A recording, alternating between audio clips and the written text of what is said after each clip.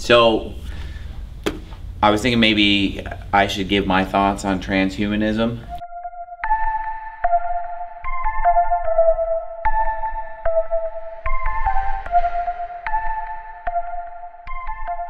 Transhumanism. What are your general thoughts of transhumanism? What do you know about it? And uh, well, my understanding of transhumanism is that basically it involves using technology to transcend our limitations as human beings. And most of the time, when I've heard people discuss transhumanism, they were talking about life extension, even to the point of living forever physically on this earth. Because obviously, we as human beings don't have that physical capability, but there are people who think that technology could be used to achieve that. Now, the first time that I ever heard about transhumanism, I was actually sitting on an airplane with a guy who was really into it. He had magazines and things that, that had to do with it, and this is about three or four years ago. And the thing that we were discussing was the idea of basically scanning someone's brain and taking all the data from their brain, because obviously our brain works on electric impulses and if there would be a way to basically you know read someone's mind scan their brain electronically and then put that data into like some kind of a hard drive some kind of a storage device. And obviously it's it sounds crazy and far-fetched but you know obviously that's where the technology is going in a sense. Because um, even in our film uh, after the tribulation we briefly touch on the fact that the brain scan technology is, is rapidly advancing where people can think about things and then it could, you know, literally write words on a computer screen or, or make an image come on a computer screen just based on their thoughts. So the theory was that if this were to keep progressing, you could just basically take the entire contents of someone's brain, all their memories, everything about the way they think, and then transfer that to uh, a hard drive and store that. And then, you know, to take it even further would be to like take that information and then like upload it into like an Android or something. You know, this is what mm-hmm. this guy was talking about as a way to achieve immortality because we've taken everything out of you and then put it into another vessel, as yeah. it were. Okay. Now, I don't believe we're ever going to achieve that, but I'm just telling you this is what the guy explained to me on the airplane. Mm-hmm. Okay.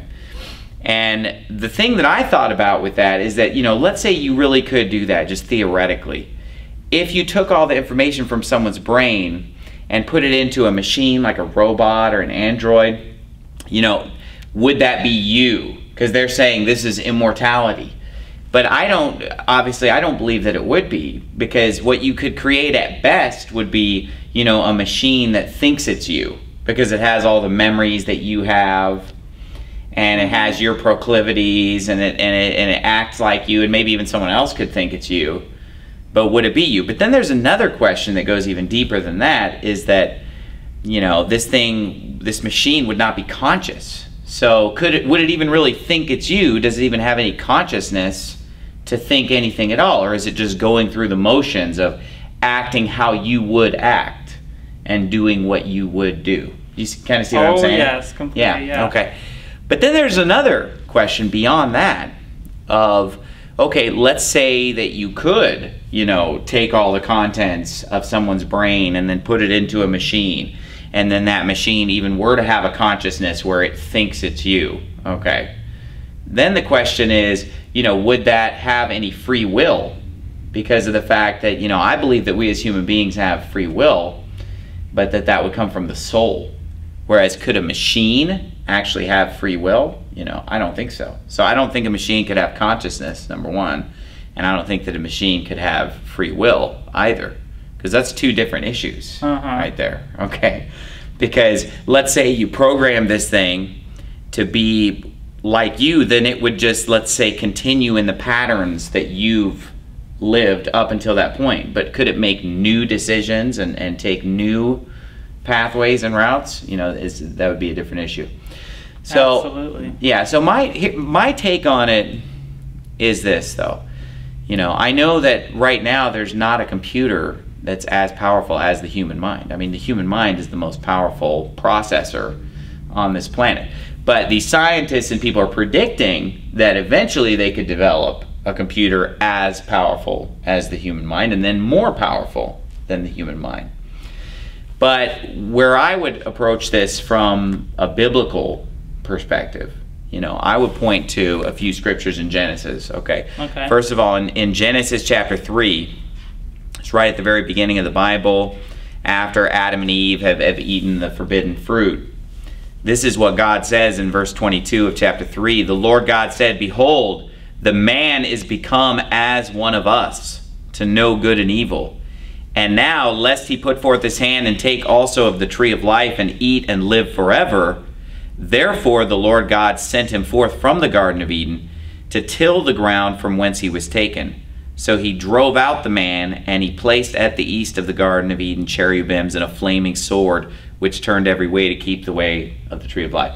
So in this story, basically, you know, when mankind is to a point where he's achieving a, you know, godlike status, God puts a stop to it and says he's not going to allow God, he's not going to allow man to understand good and evil in the way that he does and live forever.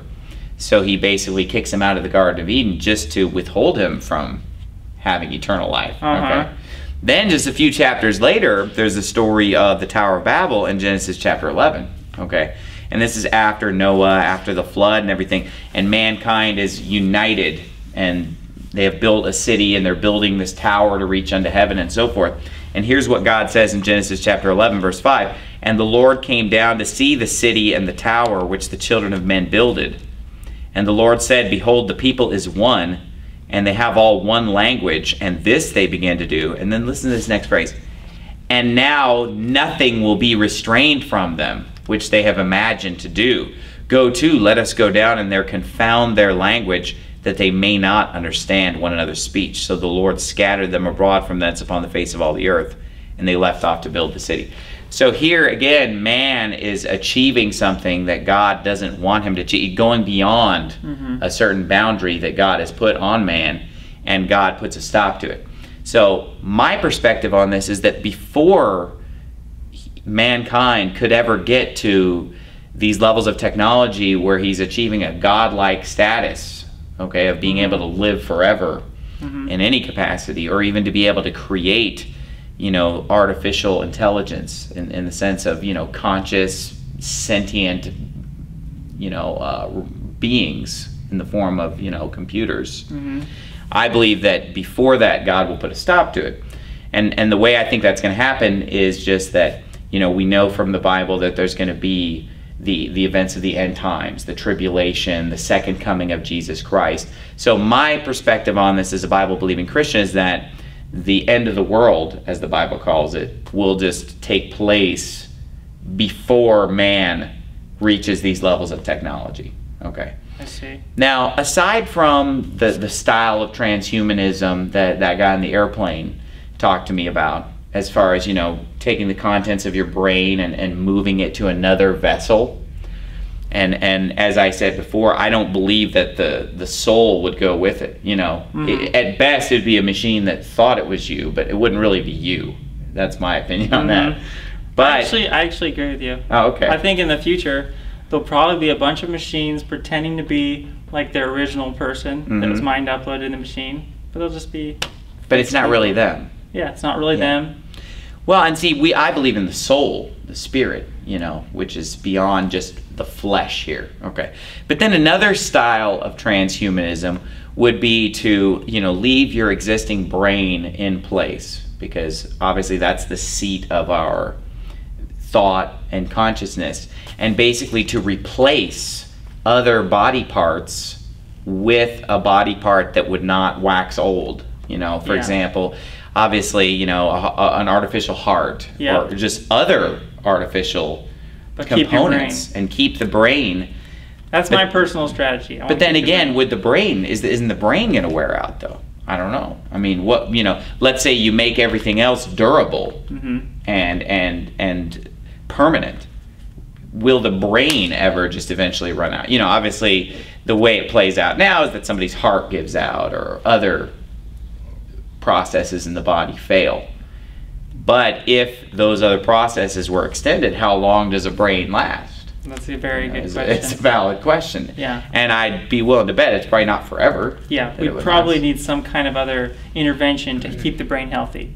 maybe go in there with nanobots and clean up the damage, or just some way to keep it alive. some way to uh, restore it. Yeah. and then um, basically you know if if basically these type of things were to to be implemented the, you know just theoretically hypothetically this happened and you know the second coming of christ has not yet taken place then that would just show that i was wrong when i said that god would put a stop to things before that happened hmm you know i mean it wouldn't make me lose faith in the bible or or lose faith in the eventual second coming of jesus christ it would Yeah. just mean that i was wrong on that particular theory hmm Yeah. Okay. What if? Uh, do you think that it's your duty to like stop any of these technologies, or do you want them? Would you want to just let them go?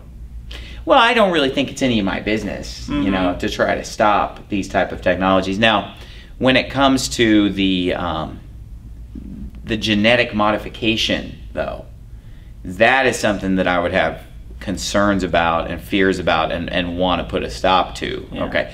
That's the train of thought that I lost a little bit earlier. That's what I was Okay, thinking of actually would be a third pathway besides the you know the downloading as it were, besides the replacing of body parts that would wax old with permanent body parts. But but the third pathway would be a a tampering with the DNA, you know, a turning off Mhm. of this gene or that gene or a splicing of, of sorts.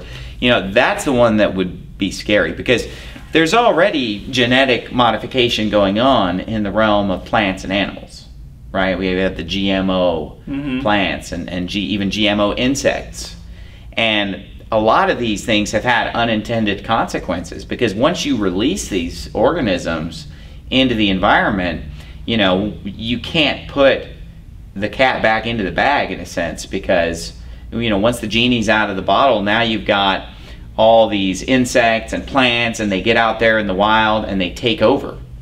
And whenever man tries to mess with God's order, there can be a lot of unintended consequences. Like it reminded me of one time I was working in this water filtration plant and there were just ladybugs everywhere. Just la- you couldn't even hardly walk without stepping on ladybugs. And there's ladybugs.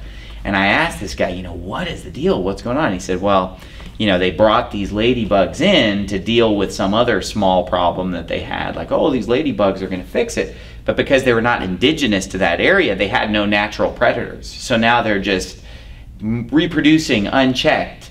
And there's just ladybugs everywhere and, and they don't know what they're going to do. And I mean, that's just a mild example of how tampering with you know animals and plants can create unintended consequences. Also, you know the GMO foods. Mhm. What are they doing to our health? Yeah. And even if we eat them and we feel fine now, what about 10 years from now? Or what about the effects that they're going to have on our children Yeah. in the in the second generation, third generation? I'm really You know. concerned about that too. Like, I don't want to be a guinea pig. It, you know, like Exactly. if they were tested and super healthy, you know, and we knew that for sure, I would eat them. But you know, I'm scared of being a guinea pig for sure. Mhm. Okay, so let's. I want to ask you, like, uh, how far would you personally start taking these uh, interventions for aging? Let's say if they cured aging, could you see yourself Mhm. actually taking advantage of that? It's not immortality, but it's just Right. you're not going to die from aging. Would you personally before? Yeah, I mean, I don't, I don't think there's anything wrong with using, you know, medical technology and advancement in order to live longer, live a healthier life. You know, for example, let's say somebody is, you know, having heart disease, they have a heart attack, and then they go in and get some kind of an artificial valve put in or something. Mhm. I mean, I don't think that any Christian would probably obje- object to that. They'd probably think that that's the most natural thing in the world to just Mhm. swap out a bad valve or whatever, or get an artificial hip replacement, or just, you know, pacemaker, whatever.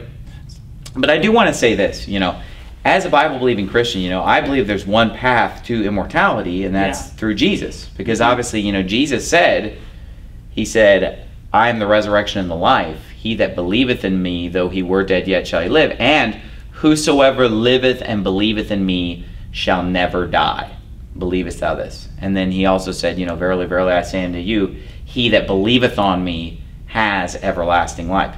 So to me, the whole idea of human beings saying, Well, I want to try to find immortality physically on this earth, you know, through transhumanism, is inherently a rejection of spiritual eternal life being offered through Jesus. It's like you don't trust that. You don't want to trust the fact that Jesus died for our sins and he was buried and that he rose again as our path to immortality. It's like man's trying to find another path to immortality. Uh-huh. Sort of like in the story of the Tower of Babel that I referred to earlier, they say they're building a tower to reach unto heaven. You know, it's man trying to make his own way to heaven. How do you know Jesus wasn't talking about physical immortality on earth? Physical, like by means of these technologies they're going to come up with in the future. How do you know that that's not what Jesus was talking about? Well, just because there's so many scriptures where it talks about, you know, it's appointed unto men once to die, but after this the judgment. And obviously Jesus is talking about having eternal life and, and his followers having eternal life, but we know that they died physical deaths. Even Jesus died a physical death. And of course he was raised again from the dead three days later. But all of the people that he was talking to where he told these people that if they believed in him that they would never die they died physically okay so Okay. clearly he was talking about you know eternal life in the sense that the soul goes to heaven after physical death Mhm. you know Okay, so you you think Christians, like a good Christian, would be in favor of curing aging? It sounded like that's what you think. well i you know i, I wouldn't i don't have real super strong opinions on you know what other people would choose to do. Hmm but in the sense of using medicine, using modern medicine and modern technology to uh, make us live longer, I'm all for that, and I Mhm. think that your average Christian would be all for that. But that that's different than obviously trying to achieve immortality, hmm trying to have eternal life, rather just you know be healthy. Curing aging. And here's the thing, you know, I want to live as long as possible physically on this earth. You know, I'm not, even though I believe, obviously, from the Uh-huh. bottom of my heart, that I have eternal life and that the moment I breathe my last breath, I'm going to be in heaven. I still want to live on this earth as long as I can to to fulfill the mission, you know, that God Uh-huh. has for me. So, it sounds like if they did come out with some pill that if you take, you stop aging. Sounds like you would take that. Well, if it the was only- com- you know- yeah, but I'd be nervous about it because Yeah, think yeah. about all the other stuff they've come out with. Yeah, yeah, yeah. And then it turned Okay, out, how about how about like if I hypothetically just knew for sure, yeah. hey, this thing Yeah. has no side effects. Uh-huh. This thing, it's just you know. going to stop your aging. You would take it? I don't know. I mean, that's a hard question, just because it, you know it's so hypothetical. Yeah. Because it seems like everything has a catch to it Yeah. in this world. You know, But, like, it you can't could- have your cake and eat it The too. hypothetical could be realistic, like because let's say they came out with the pill very soon, Mhm. and then you didn't want to be the guinea pig, so you waited 30 years before you took it, and you saw Yeah. well, everyone else that took it, they're fine, they're actually just staying Mhm. young. Would you think you might take it then? Yeah, I mean, uh, there's always the option that I might take it, Mm-hmm. but it's Because there's nothing inherently about that that is a sin, according to you. You're saying to take a pill that would stop your aging. That's not a sin. Well, I don't think that there's ever going to be such a pill. But I don't see anything inherently sinful with just basically, you know, doing what's best for your body Mm-hmm. and staying on this earth and serving God and, you know, doing good things. I don't I don't see anything inherently sinful with that in the sense of, hey, your heart's going out, you get a valve replacement, you get the bypass, whatever. Now there are some people out there who I guess uh, I don't know, Amish people maybe, Uh-huh. or uh, I'm sure that there are people out there who don't believe in even going to the doctor or going to the hospital for any reason, and they, they just want to kind of let things run their course. Yeah. I'm sure there are people out there like that. But I'd be willing to bet that probably the vast majority of, of Christians wouldn't see a moral dilemma in preserving the body. So you're saying hypothetically, in five years, if they come out with a cure for aging, a bunch of Christians start taking this. It's just a pill, uh, and they stop aging, and then hypothetically they live thousands of more years on this planet before the end of the world happens. Mhm. You think that's Yeah, but totally it- fine, right? You wouldn't judge those Christians, right? I'm saying no, I, wouldn't say I wouldn't. But but the thing is, though, I don't think that this world's going to go on for thousands more years at all. I don't, uh, you know, I don't know when the end is going to be. And Jesus said that no man knows the day or the hour, so we should not try to predict when. But there's no way it's going to be thousands of years from now. I mean, it has to be. Well, hypothetically, it could. Hypothetically, you don't Well, know. here's the thing. You know, the, the Bible call anything in the New Testament is known as the latter days, the last days, the latter times. So my thought would be that if there were about 4,300 years from the creation of the world up until the time of Christ, you know, it would make sense that there would be less than that after the time of Christ in order to justify calling it the latter days or the last days. You know what I mean? Because if there were just if it just went on and on and on, at some point it would it would seem like hmm a strange thing to call it the last days. Here's You kind of see what I'm saying yeah, with yeah. that? Yeah. Um, now, let's say that they come out with a cure for aging, and a bunch of Christians didn't take it, Mhm. and they're dying. You know, for Yeah. and and you know over hundreds of years, they're all dying, and then you see other people who do take the pill are just getting to live indefinitely. Mm-hmm. Um, at what point would you say it qualifies as like suicide not to take the pill? What do you think? Well, first of all, you know, just to restate what I said at the beginning of this conversation, like I strongly believe that none of this will ever happen. yeah, Because of God's intervention in Genesis 3 Mhm. and God's intervention in Genesis 11, I don't believe that any such technology will ever exist. Mhm. So this is all like very hypothetical. Yeah. And I don't believe in any of this. Yeah. Okay. Yeah. like I strongly believe that man will never achieve that ability. Okay. But, you know, to say it's suicide, see, we could use examples of things that exist right now though that are that are a similar moral dilemma. Like for example, you know, what if what if somebody's heart is giving out because they're old, because they're, you know, 80 years old and they say, "Hey, I'm not going to do the the bypass surgery. I'm not going to do the open heart surgery. I'm just going to peacefully die in my home. I've lived my three score and 10 years. I'm ready to just go the way of all flesh." I mean, you can't call that suicide. That's Mhm. that'd be ridiculous because they're not killing themselves. They're just dying of natural causes. They've lived their life. It's over. but it would be suicide if they knew that by taking the intervention they would live longer. I don't believe so. No. Really? So even Absolutely though not. given the clear choices, I could do this and live a lot longer versus I could just die now. Well, because they're see that as following the natural order of things, though. But it's suicide by No. following the natural order sometimes. I don't think so. Really? No, because you're not killing yourself. Suicide means you're killing yourself. Yourself. You're not killing yourself just by not choosing to unnaturally extend your life. No, that's my opinion. Do you think it might be even a sin, uh, according to Christianity, not to strive to cure aging, considering that um, the Bible teaches the message that you shouldn't, um, you should try to alleviate people's suffering, right? You try to help people, and isn't it by not curing aging, aren't we condemning a lot of people to a lot of horrible suffering with aging and all the a- uh, diseases that come with aging? So you think it could be argued that it's actually a sin not to cure aging because of the suffering it would cause. I don't because of the fact that you know the Bible defines sin as transgressing God's law. So Mhm. if you're going to say that X, Y, and Z is a sin, then to me you would have to point to a specific law of God that's being violated.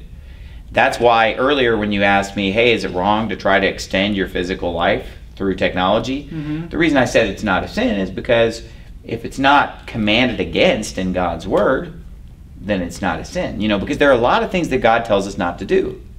If we do those things, it's a sin. Mhm. So therefore, if you're going to say, well, wouldn't it be a sin to not do it? It's like you'd have to point to some scripture well, to how back about like that the, up. how about the Good you know? Samaritan? It Yeah. wouldn't have been a sin for that guy to pass the guy in the road, you know.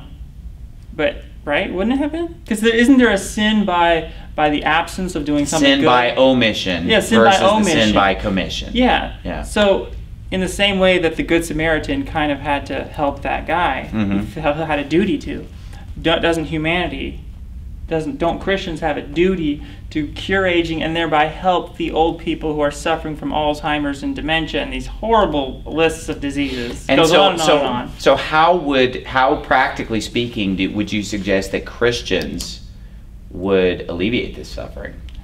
Give money to a anti-aging research. Simple as that. Uh, anti-aging research does not have enough money, and if Christian churches like yourself and you know other pastors started actually preaching that you know, hey, we should actually try to cure aging because it's a huge cause of suffering. And in fact, it's actually the biggest cause of suffering by a long by a long because more people are suffering from a old age than any other cause, and they. But see, that's not what we believe, though, because you know what what I want to spend my money and time and effort toward achieving is getting the message of the gospel of Jesus Christ to people. To me, the ultimate suffering is people going to hell when they die. But not getting old and dying but because if you cured these people from old age, they'd have so much more time to become Christians. Well, see, I don't agree with that because I, I believe that people get to a point where they've heard the gospel, they understood it, and they've kind of made their choice and, and kind of rejected it. And they, they get to a point where they're done. You know, they're not going to get saved. They're not going to receive the gospel. I mean, the Bible's clear that, you know, people get to that. And so, you know, that person could live hundreds more years. It's not like there's just more of a chance that they're going to get saved. It, it, if you're not going to get saved in the 70 years that God's given you, in the 80 years that God's given, you're probably not going to get saved at all. Okay. And so, are people suffering by getting old and, and dying? Well, you know what? Uh, a lot of people probably have a, a nice life even in their old age, and, and they're probably happy being old and having their grandkids and great grandkids, and then they die and go to be with the Lord. And, you know, maybe a lot of people's suffering and, and uh, you know, agony with being old and everything, I mean, maybe there's other reasons why. So you're saying it's possible God intentionally has aging there as a kind of way people suffer at the end of their life or well but not i just don't think everybody really suffers that much at the end of their life. As you, you're kind of you're kind of acting like it's just this horrific destiny that we're all heading toward. Kind I mean, it, it doesn't I really have to be. have you seen it outside of a nursing home? These people are not enjoying themselves. Okay but well but here's here's another thing though. Okay but, but see is every old person put in a nursing home? No. No. And, and and here's another thing to think about you know besides just the fact that you know okay people are getting old they're they're suffering and it, okay but eliminating all suffering eliminating pain. That's the goal of transhumanism. Yeah but We you know what? It's a, it's a misguided goal. Why is very that? Misguided. why would that be bad? Because a, a life without pain you know is is not the ideal life because pain is part of life. We, we can't even enjoy pleasure without having pain there also as a counterpoint you know this idea of creating a world where there's no pain and no suffering. And and in fact you said that's transhumanism. And, I, and i've even seen transhumanism defined in certain contexts as having a goal of just ending the suffering of all sentient beings. Yeah. Yeah but you know what? Suffering makes us a better person. Because you know the Builds bible says- character. Exactly. So if you if you had a person who had no suffering in their life they would be a horrible person they'd be an evil person because suffering makes you a good person You have a good point on this one. It's I true. think it's there's a lot of truth to what you're saying right there. But see, Jesus himself, the Bible says that he was a man of sorrows and well acquainted with grief. You know, David said in the book of Psalms, It's good for me that I've been afflicted, Uh-huh. that I might keep thy word. You know, the Bible says, Whom the Lord loveth, he chasteneth, and scourges every son whom he receiveth. You know, I spank my children. You know, that's part of what I believe in regard to child rearing based on the word of God. Well, a spanking's painful. hmm But in the end, it creates a better person, okay? Because suffering builds our character. And you know what? I suffer every day. Because, Me you know, and, and here's the thing, you know, even just, and this is just kind of a carnal example, a physical example, but, you know, I really like to exercise just for my health and also just for my mental well-being. I like to exercise just as a stress relief and just to just to feel better. But pain is inherent in exercise. hmm You know, and I'm not any kind of a masochist or anything by any stretch of the imagination, but there's a good feeling to going out and running hard, Oh, yeah. swimming, hiking, climbing. You, you're experiencing pain, but is all pain bad? I totally know what you're talking about. I, You know? I'm a, a hot food, spicy food junkie, so it's that pain and then Yeah, it's the pleasure. you like that after. burn. I like the burn. Yeah. You know, you or like the ginger ale that's real spicy and Yeah, burns on the way it. down. Yeah, but there's see, pleasure- you're trying to eliminate that from the world. There's a fine line. and it's You're it's right. it's misguided. Okay, you know we need to go through pain. We need to go through suffering. It's part of life. It's part of the experience. And if you took that away, you'd turn us all into spoiled brats. Yeah, I think that you, You could be right. And how are those uh, Christians gonna maybe they'll if they're in heaven, let's say you're right, and there's Christians in heaven and have no Mhm. pain and suffering forever. Yeah. How are they gonna avoid reverting into some bad person because they don't have to experience pain? anymore? Well, see, that, but see, the difference is that in, in heaven we no longer have the sin nature. We no longer have the flesh that we're living right now. Right now we have the flesh and the spirit, and there's a war going on between the flesh and the spirit, according to the Bible. So, you know, if there's no suffering, there's no pain, because of our sinful nature, we're going to become bad people, as it were. Okay. Back on the uh, so so the suffering. Um, Plus, it doesn't make people happy to give them everything they want anyway. There's an empty feeling in Mhm. getting everything you want. mhm. You know, right? Like Alexander the Great, you know, wept because there are no more worlds to conquer. When you're just handed everything, you don't even appreciate it anyway. Mhm. But when you struggle and fight and and you you face the uphill battle, that's what makes life. Well, you know, there's a, there's a good chance that a lot of people actually would totally agree with you, and that if we were to have some kind of, you know, very technological utopia in the future, we would kind of try to engineer a little bit of suffering in there. The pleasure, you know, the pleasurable types of suffering. see- you know what I mean? but like see, this- this whole- like hot peppers and running and exercising. But this whole thing of like, you know, yeah, but we'll engineer it and everything. You know, it's really scary because who's going to be doing the engineering? You know, and that's a real scary question. You know, these especially kind when of comes artificial intelligence. Okay, and think about yeah, exactly. Mhm. Okay. Plus, you know, whenever artificial intelligence occurs in science fiction, which artificial intelligence is part and parcel of, of transhumanism, am I right? It's, Mhm. it's kind of Yeah, a related topic. Yeah.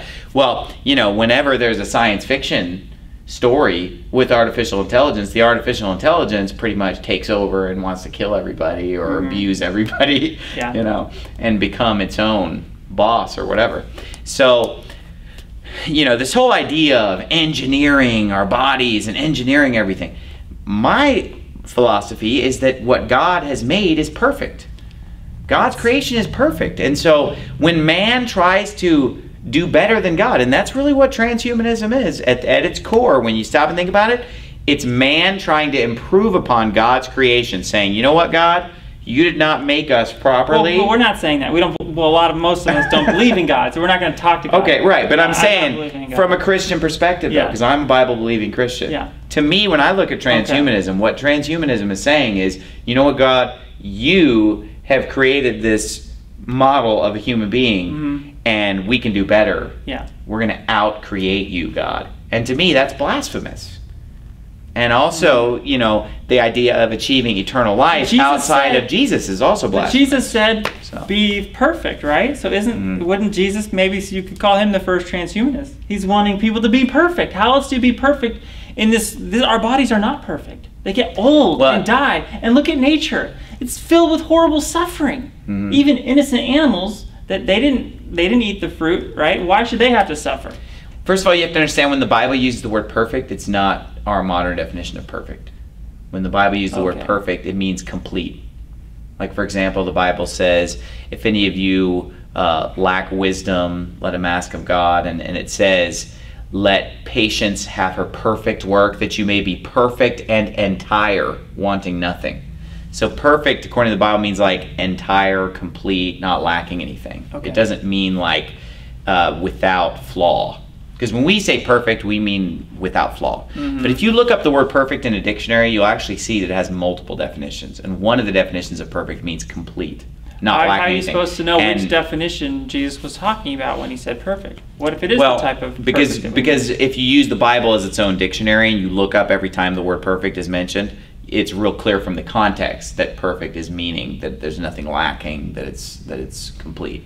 So, I would use the context to let the Bible define itself and be its own dictionary. I'm just telling you that the original meaning of perfect, okay, Mhm. if you go back several hundred years in the English language, and if you look up perfect in any dictionary, you'll see that what I'm telling you is true, is different than our popular definition that we have of perfect today. But this idea of look at all the suffering in nature, it's horrible. But again, that you know, you're coming at it with the idea that suffering is always a bad thing. Because what about this? What if there are people who deserve to suffer? you know, if we eliminate suffering, well, Mhm. you see that is another issue too. deserving to suffer. Deserving to suffer. Right. Ooh, And uh, see, when it comes to plants and animals, I, I, I personally do not believe that plants and animals matter. I don't think that God cares about animals and plants, biblically speaking. I think that they are here for one reason, and that is for mankind to benefit from and use. And obviously, a smart person is going to, you know, take care of their animal that is useful to them and, and Mhm. plants and so forth. But I, I don't put plants and animals on the level of human beings. I don't think that they're important in the view of eternity because they're going to go to dust and, and they're not. mhm. You know, man is made in the image of God. Animals don't matter, in my opinion. They don't matter at all. They, they matter in the sense that they're useful to man, but that's why they were created for man to have dominion over the animals and to use them. I do not believe that animals matter, though. Uh huh. Like that they have a soul or that they Yeah. That they have uh, value in the same way that a human being has value. Then wouldn't it be a sin for a Christian to feed his dog and then over the course of a year that might amount to a thousand dollars when he could have given that thousand dollars to you know feed starving children in Africa? Essentially, he with his money and his resources, he is prioritizing the life of an animal over the life of a human being. So wouldn't it be a sin for that? Well, Christian? first of all, you know, my dog has a function that's very important because we did not have a dog originally when we moved to Arizona and had people try to break into our house multiple times. Then we got a dog and that Mhm. solved that problem. So when I'm feeding my dog, I'm actually securing my my house and my family from Mhm. invaders, number 1. Mhm. Number 2, the reason that people are starving in Africa has nothing to do with me sending $1,000 to Sally Struthers or Bono or anybody else because of the fact that, you know, that uh, that money that's being sent over there is not necessarily fixing the problem, you know. And and I believe that the problem over there is is uh, number one, there's corruption in government, and there are evil people that want to just rape Africa of its resources and keep the people in poverty, keep them uneducated, keep them starving, and so forth. And that number two, that people in Africa who are living a sinful life, you know, are experiencing the judgment of God also. And obviously, there are a lot of good, godly, righteous people in Africa also, but there are also a lot of really wicked and evil people over there too.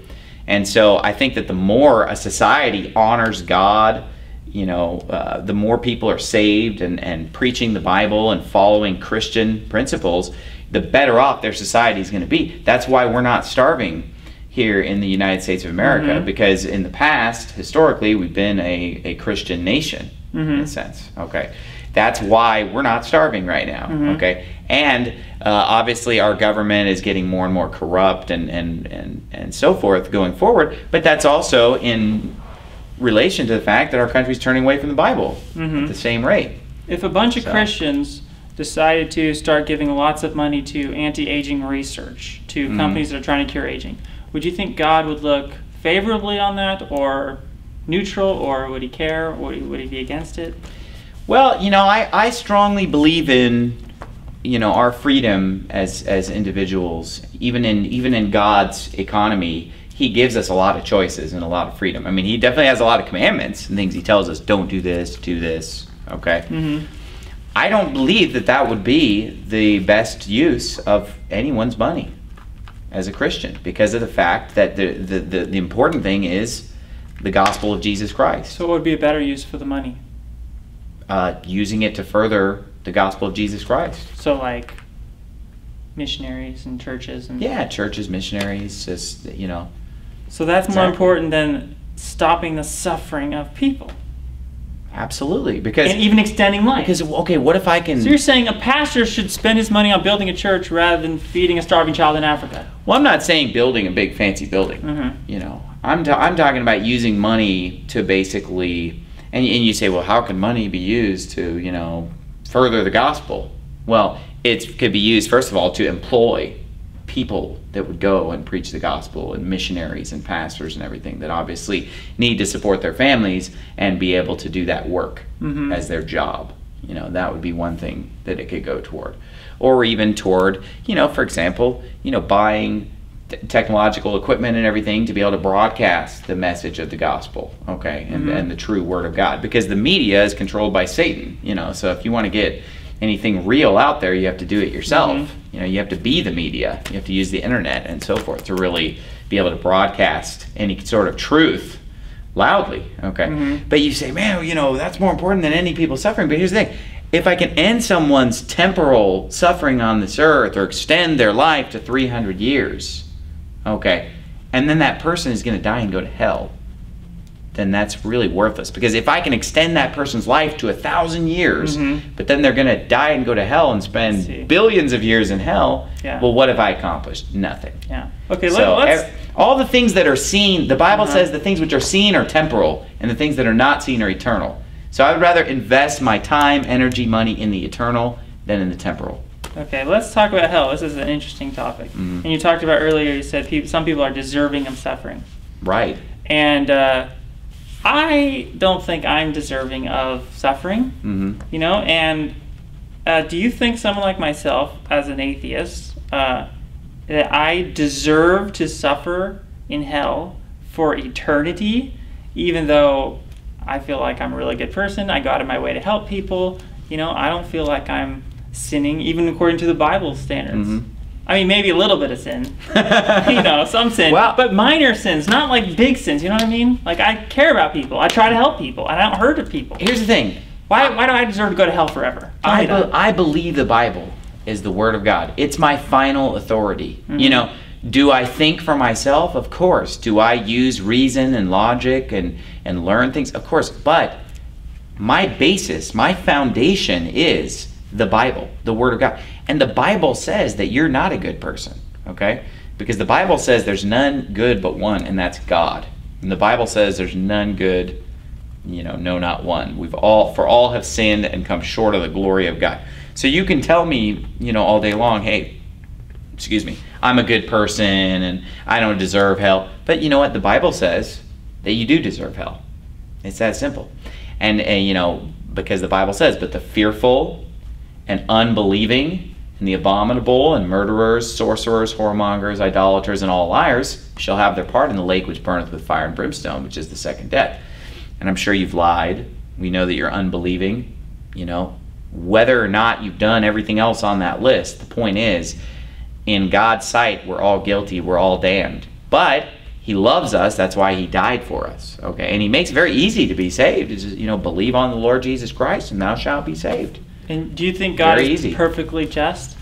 Absolutely. Yeah, So that's one of His major attributes Mhm. is justice. So you think it's perfectly just Mhm. that God would create someone like me, hmm um, that I would grow up, become an atheist, um, and maybe you know lie and some other few Mhm. minor sins, and that and that I I'm justly going to burn for eternity in anguish and suffering in hell forever. You think that's just? I believe it's just. Absolutely. hmm Wow. But see, you're Um, but, but of course, you know, you're you're trying to really gloss over your sins and really, you know, put that kind of spin on it. You know, that's not the way the Bible portrays it. I don't, you know? I don't know. I'm not a huge expert on the Bible, but I doubt the Bible even says it's a sin not to believe in God. I doubt It that. does, yeah, it absolutely Where? does. Well, here's the thing: what's a sin? It's violating the commandments of God, and there are all kinds of commands to believe. You know, so there you go. I mean, uh, believe on the Lord Jesus Christ, and thou shalt be saved. That's an imperative. You know, He's Hmm. command. The Bible says that God has commanded all men everywhere to repent, and Mhm. and the context there, the repentance is from worshiping false gods or believing in idols, and you know, turning to the true and living God. So yeah, there is a command to be baptized. You know, even which is not uh, having anything to do with your salvation. Mhm. You know, it's something that you do after you get saved, but it's a command. I mean, there are all kinds of commands. There's a command to go to church you know, and to, and to assemble together and so forth. So there are a lot of sins of omission that you're doing too by, you know, not reading the Bible, not praying, not believing in Christ, not going to church, not doing all these things, you know. I mean, the Bible teaches that we're to give 10% of our income unto the Lord. You know, there you go. There's another thing. Uh-huh. But then as far as sins of commission, you're kind of like, well, what have I done? I mean, I, what, I've lied a few times. But there's probably a lot of sins that you probably just don't even know about just because you haven't really probably studied the Bible a lot. I mean, I, I'm sure you're somewhat familiar with it, Mhm. but still, you know, yeah, there's the basic stealing, lying, killing, adultery. That's kind of obvious to Uh-huh. people. But you know, one of the Ten Commandments also thou shalt not covet, which coveting is when you desire anything that is not yours. It doesn't seem like it's deserving of an eternity in hell for disobeying Mhm. that or lying or all these other. It seems to me that if when it comes to sin in the Christian understanding, there's big sins and then there's Mhm. minor sins. These There minor- are big sins You and might be able to sins, I argue. you might that. be able to argue that if there was some rapist, serial killer, pedophile, Mm-hmm. murderer, you know, maybe that person deserves to burn in hell forever. But you're talking someone like me who goes through life trying to be a good person, Mm. you know, even giving to charities, and I deserve to go to hell just because I what I lied or you know some other Well- minor thing. I mean, What I'm- about blasphemy? Because I mean, blasphemy isn't really minor according to the Bible. See, and, and again, this all goes back to just your perspective versus God's perspective. And, and God says in the Bible, you know, my ways are not your ways, my thoughts are not your thoughts. You know, so I think human doesn't look at logic is kind of disagrees with human logic because human logic No. says that is unfair. That is co- totally unjust to someone, someone, someone like me to hell for eternity. I don't think it goes against human logic. No, because the thing is, it, what you're saying goes against human logic. That basically God creates you for His glory. You only exist because He created you for a purpose to fulfill His plan and for His glory. And you're just like, well, no, I'm just going to do whatever I want. Whatever I think is right, what seems right to me. So think about this. What if you created a machine? What if you created an artificial intelligence, you know, Mhm. since we're talking about transhumanism, Mhm. and you created it to do a specific task, Mhm. and it just refused to do it? You would destroy it and make a new one. Uh, True or false? No, false. Whoa! If you you build Totally a car, false. you build a car, and you're like, I'm going to use this car to drive to work every day, and then the car's just like, No, I'm going to go where I want to go. It's taking you all these places you don't even want to go. If You'd be like, car- This car's junk. No, if that car was conscious, if that car, if I had created a consciousness such as some robot that I might create in the future, I would not blame that robot for wanting to do its own thing. It's Well, what a if I- conscious person. What if I buy a dog? Okay. Uh huh. and this dog has one purpose to be a watchdog and i'm feeding this thing i paid for this thing and it's supposed to bark when strangers come and this thing is just licking the hand of every invader you know i'm going to get rid of that dog and get a different one so you know god created us for a certain purpose Get rid of it, but not torture it for eternity in hell. There's a big difference here. You're talking about. Well, there's always going to be a difference because we're using, whenever we're using parables and illustrations, Uh-huh. obviously you can't go too deep with it. Yeah. The point that I'm making though is that there would be anger involved if I put a bunch of work into something and then it refuses to do what I wanted it to do, and it's like, oh man, I wasted my time. Now here's you, you say, well, where does this torture? torturing. Where- just, yeah, where does that it's come in? A, it's a. It seems like uh, needless suffering. Yeah. Because what's the, what's it accomplishing anymore? Is the person ever gonna? Is God torturing people in eternity hell for they can so they can uh, Well, it's not a- it's not a No, it's correctional just- facility. It's just like It's we're not- gonna torture you just for the heck of it because I'm cruel. It's not to rehabilitate them, mm-hmm. you know, for sure. Yeah. Okay, it's a punishment. Yeah. Okay. So you have to just understand that there's the concept of punishment as Mhm. part of justice. Okay. Now think about this though. Yeah, okay, I make a machine, it doesn't do what I wanted it to do, so I throw it away. I create an artificial intelligence, it wants to take over and kill everybody, we're gonna pull the plug on that thing or Mhm. whatever. Okay? You know, use the sci-fi illustration. But here's the thing about the Bible. It's more complex than that with God because God provided this redemption plan through Jesus Christ where he comes and goes through all this suffering and Jesus went to hell and endured all that suffering. So now it's a question of Jesus endured all the suffering and then we reject that free gift. Okay? That's where the wrath is coming from. You know, if you sacrificed your son, you know, that someone might be saved and then they rejected that gift, you, there, you'd be very angry. Let's say, you know, and, But and I wouldn't be if I if I was expecting him to understand all that through some book. You Mhm. know, it's a totally different like you're, you know. well, I tell you what, you get your own planet, you be your own God, and then you can do it your way. I'm curious to know how you would do it, because like let's say you were God. that's ri- would but- you and would you create hell if you got to be God? Would you create a hell and per- torture people like me for eternity? Does that really Well, make here's the thing. I'm not so prideful and arrogant, though, as to think that I'm qualified to be God. You know, I'm just going to submit to the real God. But if you and were- whatever he says, I'm not going to fight. What it, if you were know? forced to be God? It, it's but here's the thing. Of course, I'm going to be more sympathetic towards sinful people because I'm so sinful, right? Uh-huh. Whereas, see, God's so perfect and holy. Try to put yourself there. in his mind for a second. Yeah, Would you but that's- torture people for It's eternity. Would crazy. you hell? That'd be like if I looked at my dog and said, "Hey, try to put yourself in my position." He he doesn't. There's a difference. So you think that you can't grasp God's mind and why He does things, or God, God's thoughts. The Bible says, "As the heavens are high above the earth, so God's thoughts are above our thoughts." So for me to sit here and be so prideful and arrogant is to say, "Well, if I were God, I'd do X, Y, and Z." It's like, well, who am I? I am. I, my intelligence compared to God's intelligence is nothing. You know. So basically, you've committed another sin of pride. But to, in order to bring it back to transhumanism, Mhm. okay, let's say I were to hand you okay, basically a box that contained all the technology you need to achieve all of your wildest transhumanist dreams. Okay, it's Mhm. all all the blueprints are there, all the technologies are there.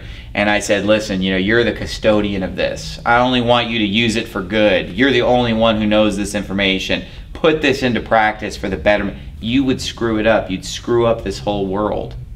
Okay? Because you'd you be know? like, oh, let's end all suffering, and then you'd create all these monsters, and everybody would be evil because they're not suffering anymore, and you you'd create these horrible people that live forever, and these horrible machines that would take over and kill us all, and everything, because man is not smart enough to be God. So we need to just stay I in our place here as think I- humans and let God be God, and we be His servants. I think I'd be a very, I think I'd be a very good God. I'm sure you do think that. I want to be. Why do you? Would, you know, there are people right now who basically think that they're qualified to rule this world and, you know, create a global government where basically they call the shots and, and put an end to all the different nation Mhm. states and have a one world government, you know, the new world order, yes. right? Yeah. Now, are these good people or bad bad idea? people? I think they're. I mean, that sounds like a good plan to me. Yeah, but they're evil people because of the fact that by nature, evil people are drawn to positions of power. You know, evil people like to control other people and be in positions of power. Well, okay. Also, good people You're do me- too. but but here's the thing: you're, Right? you're making a face about it. But let's look around No, the no, no, world that's today. Let's look around the world at all the world leaders. Okay, are most of them good or most of them bad? Okay yeah. because evil people they love to gravitate toward these positions where they get all this glory and where they can play god and, and manipulate people i personally you know am libertarian leaning in my political views because i believe in as minimal a government as possible because i feel like whenever the government does anything they screw it up and the more power you give them the more things are going to be screwed up and the most totalitarian and authoritarian governments throughout history have been the most screwed up places. And the place where there was the most freedom Mhm. were the places where things went well. You know, these engineered economies, they, these planned economies, and, and, you know, you look at uh, communist China, Soviet Union, you know, they wanted to succeed. Right? They wanted to be the superpowers. They wanted to be greater than the United States. But did it work? No. Because when you tamper with God's plan, you screw it up. And you know, whether it's the five year plan of, of Stalin or, you know, the great leap forward, oh yeah, we're gonna fix everything, we're gonna organize everybody. But they screwed it up. People are starving to death by the millions. It all fell apart. Whereas when you give people freedom and let things basically just happen organically according to God's design, then people are able to feed themselves and, and things are able to go well. So this idea of a global government, well, well think about this. What if you lived in a A country government run by the people, though. A global government run by the oh, people. Uh, like a, A, de- government run by the people? Which people? Democracy? All of us. You know Direct what democracy, democracy. is? D- direct Yeah. democracy is, Yeah. is the worst form of government because democracy is two wolves and a sheep voting on what's for dinner, number one. And number two is that most people are stupid. So why would you put the majority in charge when the majority is is idiots? Okay, so the what I believe the best form of government is is an extremely minimal government, as little government as possible. Sim- almost like anarchy, but just a little bit of police. Some people call like it minarchy. minarchy. I don't even believe in police. okay. You know, that might be shocking to you. That's uh, yeah. But I, I get my views from the Bible. And, and in the biblical model, when God set up the Old Testament nation of Israel, they did not have police. Basically, what, what they had is a citizen, the citizens were the, the police in a sense. Everyone's armed. And basically, there are judges. But that's a whole nother topic. That's, that's very deep to go into all that. But my point being is that let's say you live in a country where things are really bad hmm you know you're living in the soviet union you're living in north korea you know you're living in communist china well your goal is to get out of there and go somewhere better right i mean that's why a lot of people are leaving mexico and coming up here because things aren't as good down there and they want to get up here where things are a little bit better right and it makes sense i mean if i were living in a messed up place i would but here's the problem with this global government when it goes bad there's nowhere to go. I mean, think about that. You got nowhere to flee to. I mean, you know, why did our ancestors come over to the United States in the first place? To get out of Europe. They didn't like the way things were going over there. They wanted freedom, they wanted to start over somewhere. Well, if everybody's under the same government and it goes bad, which it inevitably will, like every government always goes bad, well, then there's nowhere to go. You're stuck in it. It's it becomes a prison planet. But how do you stop all the uh, you know the criminals and I'm not stuff trying to. police and I'm government? I'm not trying to stop all that stuff. You know, I, I'm not God. I'm not. and here's the thing: when the government tries to stop that stuff, it gets worse. Because you're like, man, we got to step in and fix this. Okay, what about when the government steps in and wants to end the drug problem? What do they do? Make it worse? Oh, we're gonna stop crime. I they make it worse. I have to agree with you on that one, but I do want a The big war on drugs is a failure. The, what what, it, what about the war on poverty? We got to end poverty. You're going to let all these people starve to death. So we're going to have, you know, the Great Society and all these welfare programs. What have they created? More poverty. I mean, look, go to the ghettos and see all the derelicts and people that don't work and all the the, the crime and the misery and the suffering in these places. You know, and a lot of it is created by government programs. You know, those people's ancestors, many of them were hardworking people, good people, nice people. Mhm. Now you see a bunch of criminals and, and derelicts and, and so forth. Mhm. Why? Because they grew up where nobody's working. You know, they're on welfare and whatever. So I- I- the road to hell is paved with good intentions, you know, and, and people have all the, oh, we're going to end poverty, we're going to end suffering, and they end up creating more poverty, more suffering. Yeah. Look how it backfires. I- they make drugs illegal, more people are on drugs. Yeah, I've I actually watched one of your uh, um, sermons on prisoners. Yeah. How you think it's so wrong what's happening with the prison system. Yeah. And I, I gotta say, I really agree with you on mm-hmm. that one. And I agree with you on the drug war. Mm. Look, okay, here's the guy who's one of the greatest men in the Bible, David, right? David is mentioned over a thousand times in the Bible. He's one of the key characters. He's called a man after God's own heart. But what happens when you put him in power as the king of Israel? He does all kinds of bad things. He, he, he's got his own wives, his own concubines, but he ends up committing adultery with another man's wife and then killing her husband to cover it up. It's like, whoa, you have all these women and you're not content with that. Why did he become such a bad person when he started out such a great guy? Because no man is intended to have that kind of power. And the kind of power that we're talking about with global government or these you know controlling these technologies of, of so-called transhumanism you know is way more power than just making somebody the king of israel a small country in the middle east okay Yeah. power corrupts Yeah, yeah, we and have to have- absolute power corrupts absolutely. We have to have checks and balances. We have to have at least a big part of it be democracy. Otherwise, you have no government at all. i don't believe Otherwise, in democracy it's anarchy. i don't believe in democracy there's the, i don't have democracy in my home this church is not run as a democracy. I don't believe that our Yeah. government should be run as a democracy. You know, in my home, do you think that we vote on things? No. My home is run as a benevolent dictatorship. Because I'm the boss, I'm the head of the household, you know, I'm dad, Mhm. and I make the rules. How do you feel simple. about having a, a robot as as a president or ruler? Because that way we could program things like stuff. um, Who's we? though? like Who's programming it? A big team know? of the top science. a big team of the top scientists. So this is an artificial intelligence?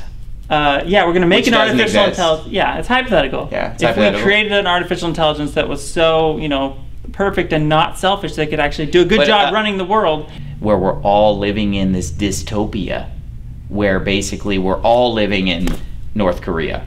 We're all living in the Soviet Union. We're all living in communist China. We're all living in George Orwell's 1984. Okay? That's what you're that's what's going to happen when you have just a global government. And then that's one of the things that's going to bring in the second coming of Jesus Christ. So there yeah, there will one day be an evil all-encompassing global government that will be run by the antichrist you know and then of course god's going to put a stop to it i mean that's christian eschatology that's what the bible teaches is going to happen in the end times Mhm. okay And you want it to happen.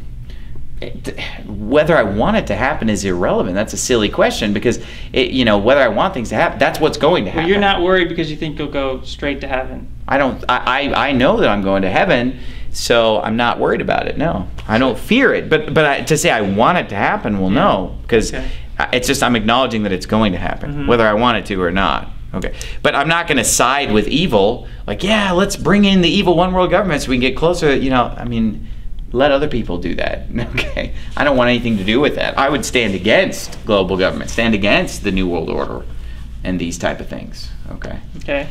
Um, but you're not, it doesn't sound like you're worried at all about death. You know you're going to heaven. Right. You know for sure. Absolutely. Yeah. Uh, and how do you know for sure? What if you're wrong? Have you, ever, have you- have you ever asked yourself the question, what if there's not a God? What if I've just been, you know, lied to? The Bible was a sham. Mhm. And aren't you a little afraid that if you die, you're going to cease to exist because you could be wrong and I could be right and there might be no God, there might be no soul, and that when you Mhm. die, it's game over? Doesn't that worry you a little bit?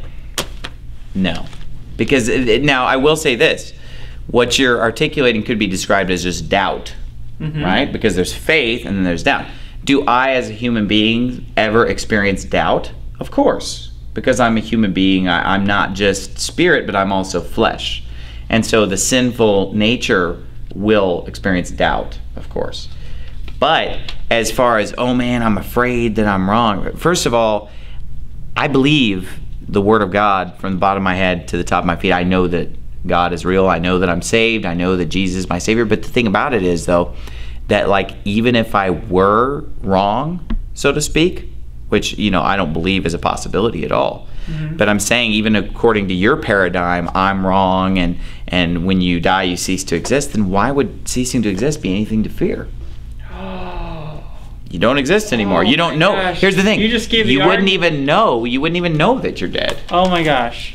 You want to know why it would suck ceasing to exist? Uh, th-? I think about this so much because I'm an atheist and I think I'm going to die. I don't think I'm going to go to hell. I think I'm going to cease to exist. And that's what terrifies me. Mhm.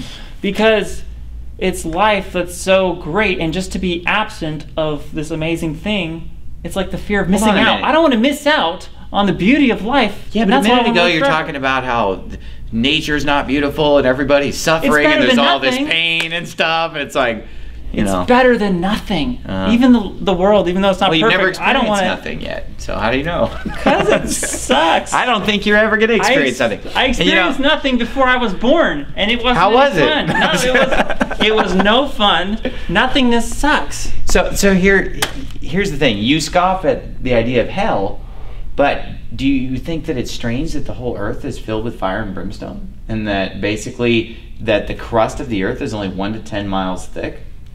And that basically everything else is just molten fire and brimstone exactly as the Bible describes Mhm. hell as being in the heart of the earth and below us? I mean, how'd they know that thousands of years ago when they wrote the Bible? Coincidence? No, it's the word of God. Coincidence? they see Oh, just- volcano. They it just so volcano. happens. It just Huh? so happens that 99, you know, 0.9 percent of our planet is just a burning fire and brimstone. I mean, think about this, okay? And yet people ignore this elephant in the room of the fact that you know, 10 miles beneath our feet is molten fire and brimstone. It's not it's that like hard nobody to- nobody thinks it's, about it's that. not Nobody that talks hard to that. extrapolate. You see a volcano, you're like, oh, Mhm. that's like, uh, you know, it's coming out of the Oh, earth. the Earth's round, and the whole thing is fire and brimstone, and the heart of the Earth is hell. I, I well, the people in the Bible thought it was flat, right? That's Yeah. why they have the four corners. They talk about the four corners No. of the earth. That's not. Again, it's a misunderstanding of the word corner. The Bible talks about the corners of your head. Is your head flat?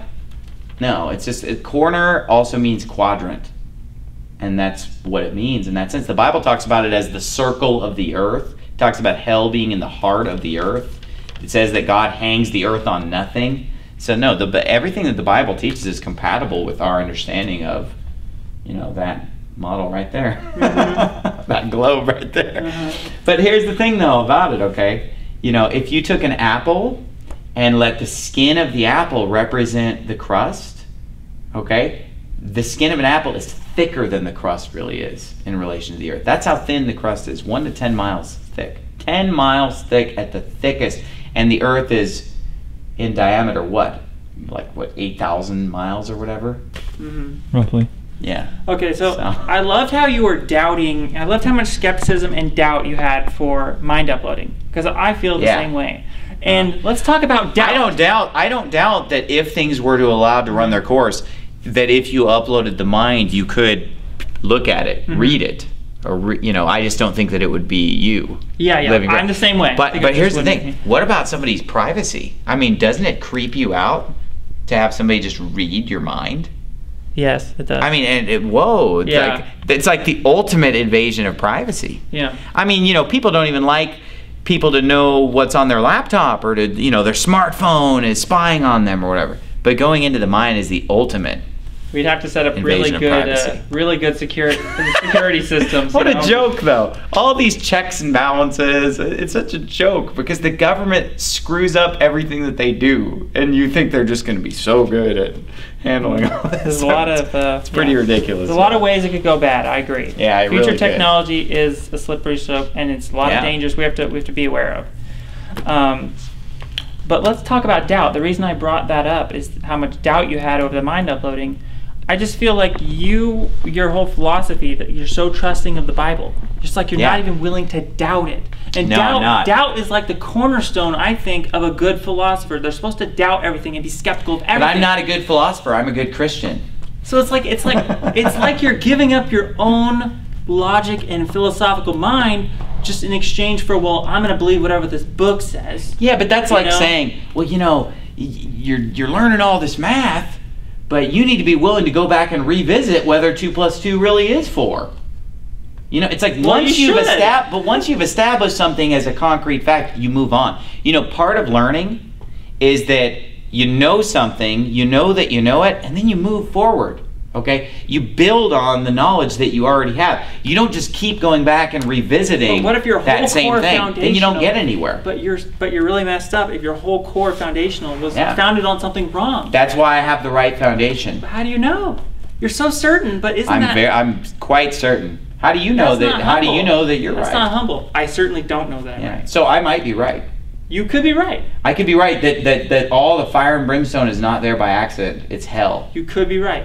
Right? see, I'm I have the humble position. I'm saying I don't know. I you could be right. You're you're sitting over there, kind of arrogant, saying I know I'm right. I know you're wrong. I know you know you're not. You have the humble position of saying that you'd be a better God than God Himself.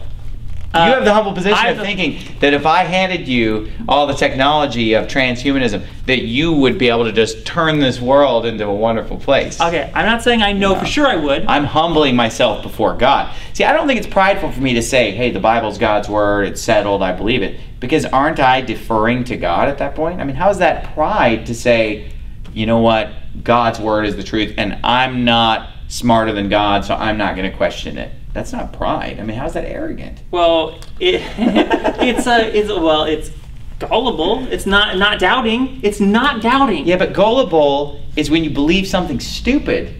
But see, But I'm not believing something that's stupid. I'm believing something that is the most amazing book ever written. Even people who don't even believe the Bible acknowledge that it's one of the greatest books ever written. So it's not like I'm just believing everything I read or believing the next thing that came along. I mean, this is an amazing book, so I'm I'm putting my faith in something that, that really is worthy. That's not being gullible. I mean, that's like calling someone gullible if they believe anything. If you believe anything anyone ever tells you, you're gullible. No, gullible is when you believe stupid things that have no basis. And there's a lot of basis for me to believe the Bible. There's a lot of reasons why I believe in it. What's the biggest reason why you believe in the Bible? Because I, I I don't see any reason why I should believe the Bible. And the, is it, I don't know. How do I know that it's Well- of course historical? How do I even know that Jesus existed for real? I don't.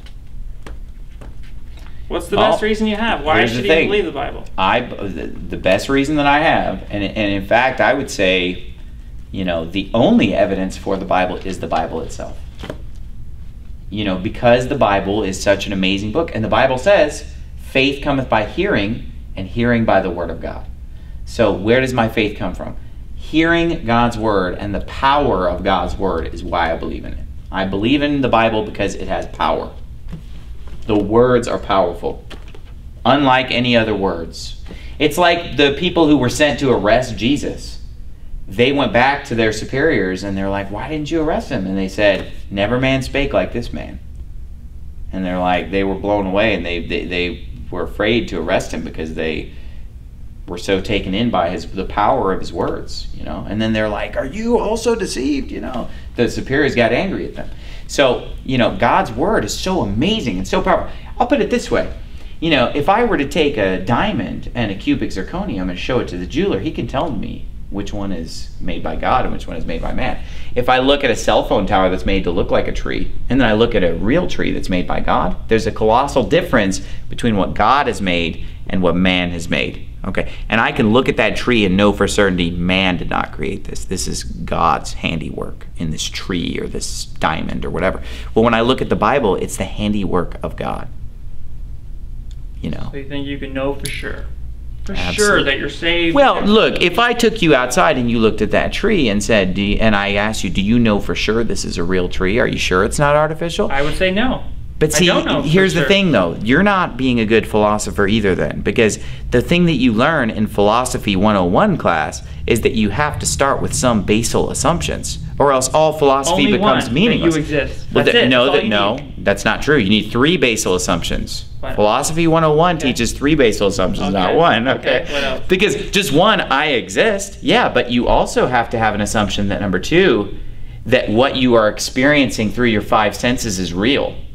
That's another basal Oh. assumption that's necessary. Because just the fact that you exist is not enough. Because, you know, what if everything that you're seeing, smelling, tasting, and hearing, what if none of it's real? What if it's all part of a, a dream or a simulation or, you know? So that's why even a, a, a- an atheistic philosopher is starting with certain basal assumptions. Okay. Otherwise, all of philosophy becomes meaningless. Of just where if we just question everything, That's and we have think and we have do. no basis, then basically we were just going to go in circles and get nowhere. You're going to accomplish nothing. You can always you could prepare for all the worst case scenarios. Be open to every possibility, question everything, and you just know what? prepare If, for if you're multiple open, scenarios. If you're open to every possibility, that's very foolish. Like, what if what if uh, Thomas Edison's trying to make the light bulb, and man, he's just open to every possibility for the filament. You know, he's never going to get to the right one. He's going to rule out some stuff that he knows. Okay, this isn't going to work. hmm You know what I mean? Like, and and get down to some stuff that might work. Yeah, you okay? start to you. you have to st- yeah. you have to build parameters of thinking and say hey okay you know i know 2 plus 2 is 4 and and you got to settle that you can't just spend the rest of your life in kindergarten math class you know you settle it okay look 2 plus 2 is 4 i know that now i can move forward into algebra calculus etc but if we're constantly going back and just read i don't know. I mean i mean is pi really you know 3.14 whatever? You know i don't know. Is is is It's good to ask that every now and then. it, it is you know the the the the a squared plus b squared does it really equal c squared? You know we're just wasting time going back and and and reevaluating all that I, I think you should be open to every possibility, but then you, uh, what's according to what's most likely, you kind of focus in on those what's most likely, but you don't get rid. Of you don't say, "Well, I know those things." Oh yeah, I want to ask you. Okay, Paul the apostle. Yeah. You think you know that you're saved? Well, Paul the apostle. How do you uh, dis- explain this verse? He said, "The man who says he knows a thing does not yet know as he ought to know." So here you are saying, I know I'm saved. I know I'm going to heaven. And Paul Well- is saying, the man who says he knows a thing does not yet know as he ought to know. It sounds like he's saying, he's yeah agreeing but with see me. this is this is taking a verse you know totally out of context misquoting it you know and just basically applying it in a way that was never meant to be applied because what about all the times that the apostle paul said things like you know we know that if our earthly house of this tabernacle were dissolved, we have a building not made with hands, eternal in the heavens. You know, we are confident and willing rather to be absent from the body and to be present with the Lord. if you looked up all the times that Paul said we know and I know and we know, there's a ton of times. When he says if any man think he know anything, okay, he's talking about knowing something contrary to the word of God, knowing anything outside of the word of God and basically a person who thinks that their idea is greater than what God's idea is, you know. So he's not just saying, well, if anybody thinks they know anything. Look, if a person said to me, well, I'm not really sure if 2 plus 2 is 4, I would say that that person is a fool. And if a person said, well, you know, I'm 99.9% sure that 2 plus 2 is 4, but I'm always going to leave open the possibility that it's not, I would personally deem that person a fool. I think that, you know, wisdom establishes facts and then moves on moves forward with the discussion. You know what I mean? Mm-hmm. And and and and to sit there and well, how do we know this? How do how do we know that any of us are real? How do we know we're even really sitting here right now talking? You know, I think that's just uh, vain jangling. You know, it's just foolishness at that point. So I'm not claiming just to kind of wrap up this part of the discussion. You know, I'm not claiming to be able to prove scientifically that the Bible is true. Of course not. I'm not claiming to be able to prove in any way that the Bible is true because we have to believe the Bible by faith, but it's not a gullible, blind faith. It's faith in the power of God's Word, which I think is a great place to hang your hat. Okay. If now you found out, if hypothetically you found out there was no God, what would you do? Would your life be different? Because I've heard a lot of Christians say, for mm. instance, that they wouldn't be moral anymore. That yeah. the, the only reason to be moral is because there's a God that's going to punish you, and that if there was no God, they would just go out and rape and pillage and be as evil as they wanted to be. I don't know, are you in that same camp of people? Or? Well, here's the thing. I, I wouldn't say that I would go out and rape and pillage. Okay. But would I do things differently in my life? Absolutely yes. Because, you know, for example, even the Apostle Paul said, if in this life only we have hope in Christ, we're of all men most miserable. He said, you know, if there's no resurrection, he said, let us eat, drink, and be merry, for tomorrow we die. Okay? Mm-hmm. So obviously you'd live your life different. I'm not saying that I would go out and just, oh yeah, let's go murder and, you know, mm-hmm. commit adultery and rape and kill. Uh-huh. But here's the thing would you live differently? Of course you'd live differently. Absolutely. How because, would you personally live differently? Would you be more hedonistic? Or what kind of things would you do that you're not doing now? Well, I mean, I wouldn't be. Pa- I, I certainly wouldn't be pastoring a church. Uh-huh. You know, uh-huh. Because, I mean, what would be the point? You know, you yeah. go get a different job because it'd be it'd be ridiculous at that point. But you know, I don't want to sit here and just delve into everything I would do if I didn't one believe. Or two. Come on, I, one I, or two. Because I do believe. We're you know, I do believe the word of God is true. So it's it's you know, I, I think hypotheticals can sometimes be silly or meaningless. But but, like what, but to answer your question, yeah, I would change the way I live my life. But I'm just and really I would curious. have different values because really right now I'm living my life where I'm valuing that which is eternal. Uh-huh. Well, if if if all we have is this life, then you would put more value on that which is temporal. Yeah. You know, it, maybe I'd join your uh, you know uh, transhumanist movement because you want to live forever physically. You know, I'm just kidding. No, but no, but if you I'm had no saying, hope of heaven, if you had no hope of heaven, you'd probably be more concerned about extending your physical life. You'd probably sure. be a lot more yeah, like absolutely. me. Absolutely. If if you if you did not believe in the Bible, you don't believe in Jesus, you yeah. don't believe that he has eternal life, then obviously, you know, you could be motivated to go find it somewhere else. I'm not motivated to find it somewhere yeah. else because I believe that Jesus is the way, the truth, and the life. Yeah. And, and, you might be surprised to hear this, but I've talked to a lot of my fellow atheists, mm-hmm. and even they don't want to live forever. They don't care about. They don't care if they die and cease yeah. to exist. It doesn't even bother. Them. But that them. doesn't surprise me at all because, like I said, ceasing to exist isn't that scary of a thought. Now, going to hell is a very scary thought. Okay. Ceasing to exist is very scary to, exist, me. I mean, it's horrible. It's painless. You can never have fun ever again. You're missing out forever. It doesn't bother you. Missing out on what? If fun. If, hold on. If athe- if atheism is the legitimate philosophy here, okay, then no life has no meaning. If we're animals, we might as well be a plant. Our life has no meaning. We, we, we live, we die, no one remembers us, no one knows us. I mean, what's the point?